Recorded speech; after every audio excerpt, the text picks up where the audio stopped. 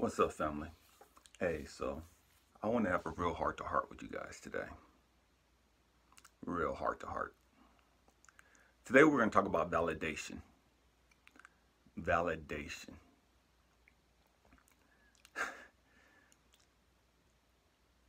it's crazy because um, I'll be 51 next month. 51 my mother passed away when I was two. Say that again. My mom passed away when I was two. I'll be 51 next month. And up until a few years ago,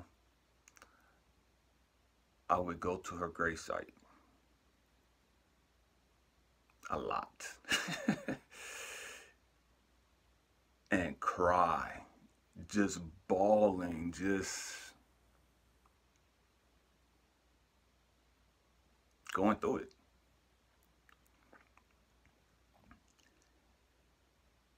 And I was kneel there,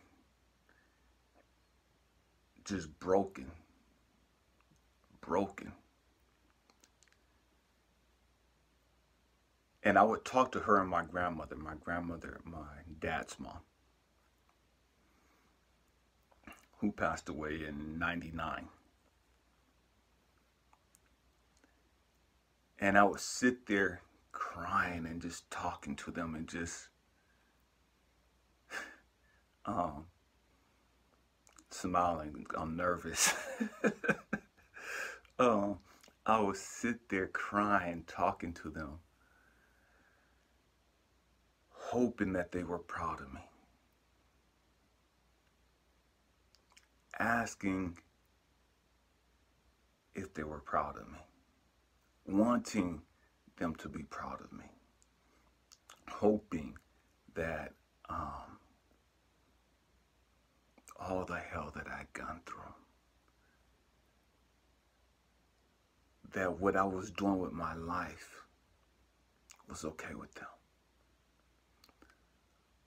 hoping that they were satisfied, hoping that they were pleased with how I turned out, needing their validation, needing to know that I was okay in their eyes.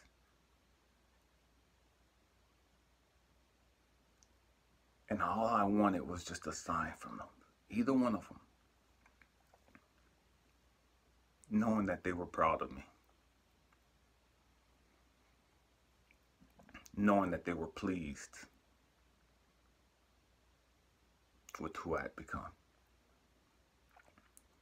what I was doing with my life.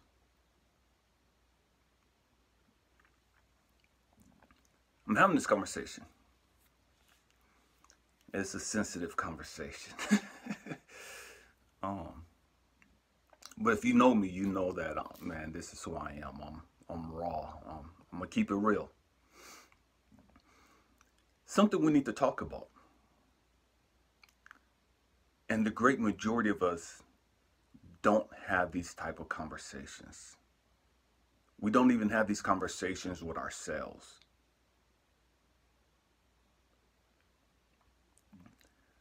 Who are you waiting for validation from? Who do you need validation from?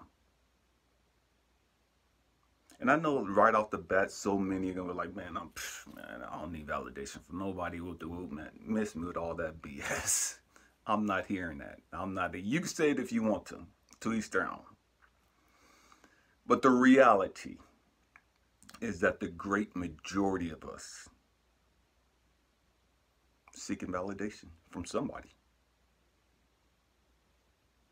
Whether it's a father, father figure, a mother or mother figure, a teacher, an ex-boyfriend, ex-husband, ex-wife, ex-girlfriend, whatever the case may be. The great majority of us are in need of being validated from somebody.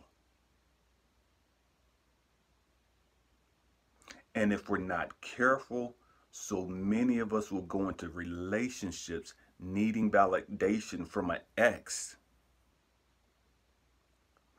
And we're in this new relationship and nothing this other person do will ever be good enough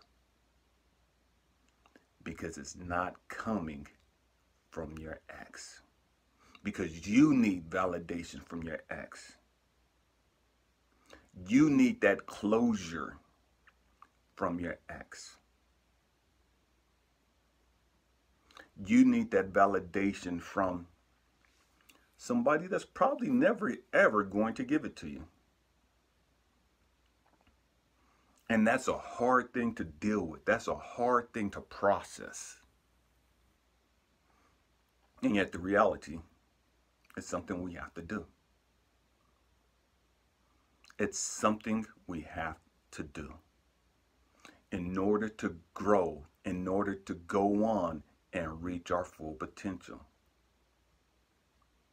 In order to be completely present in our present. You can't be present in your present relationship, still needing validation from an ex.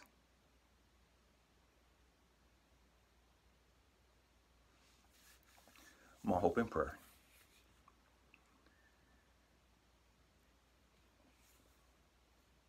Back up for a second.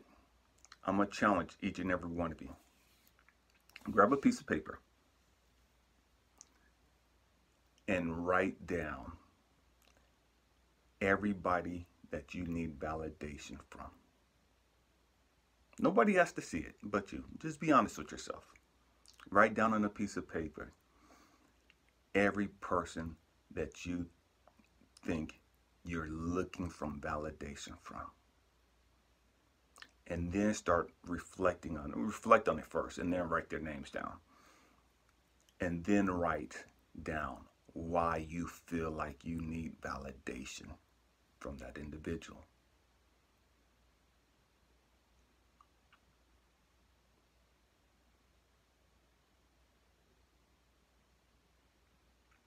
There's two parts to this. Actually, there's three. First part, you're going to reflect on who all you need validating from. You're going to write down their names. You're going to write down why you think you need validation. Why are you seeking validation from this individual?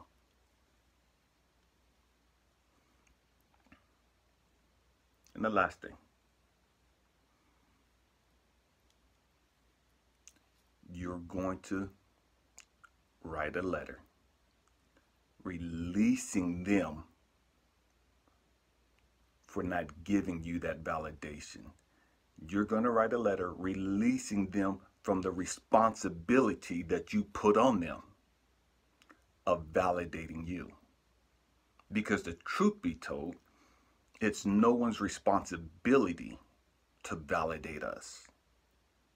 It's not your ex's, it's not your mama's, it's not your dad, it's nobody else's responsibility to validate you. You have to know who you are regardless. You have to accept you. You have to love you. Regardless of who accepts you, regardless of who thinks what about you. And that's a hard thing to do. But it's something that we have to do.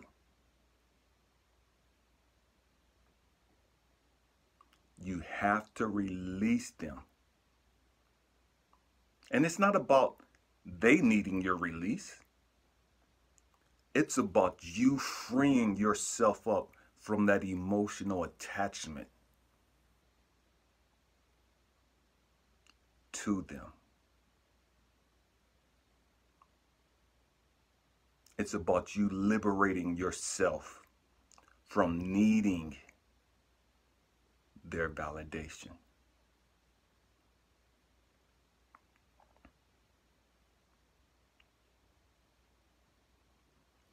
After you write down this list of who you need validation from, and as time goes on, you're probably going to have to do this quite a few times.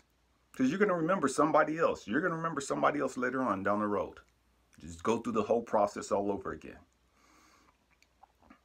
Write down the name of the person that you need validating from. Write down why you need validating from them, why you sought to be validated by them. Then write down your release, you liberating yourself from them, you freeing them from that responsibility, from that role of having to validate you. And then finally, you can either flush it down the toilet or you can burn it. But you got to get rid of it. My hope and prayer for you is that you understand that we have to learn to love and embrace and validate ourselves. It's no one else's responsibility to validate us. And whether they validate us or not, we don't seek their validation.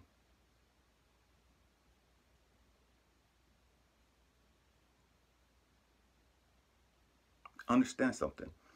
If you give them the power to where you only feel validated because they give you that validation, they also have the same power to destroy you and to make you feel less than and unworthy because they don't give you that validation. It's a double edged sword. Once you give them that power to needing that validation, you at the same time give them the same power to make you feel unworthy. I love you guys. Peace.